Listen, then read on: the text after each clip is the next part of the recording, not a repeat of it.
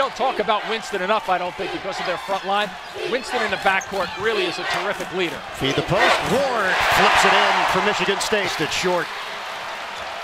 Michigan State moving it quickly. Nice ball fake there, too. Langford, the jumper goes. He's got, he's got a terrific mid-range game. Two lead for the Spartans. Ward, the spin. Over Foulland, too much on it. Bridges in and floats it home. 0.3 in the rebounding differential this season. Fall on the back hit. He needs this to go down.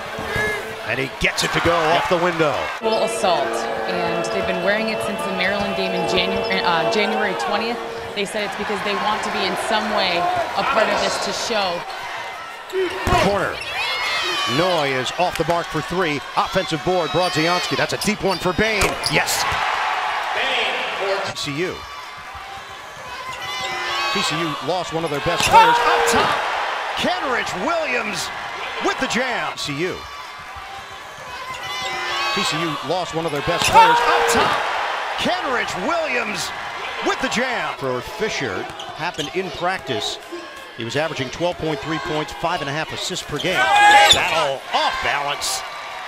And has been very comfortable running this offense. A complete point guard himself. Turnover. They have numbers if they hurry. Battle the bounce. Dolezaj. That was a tough angle. Dolezaj came down funny by Miller.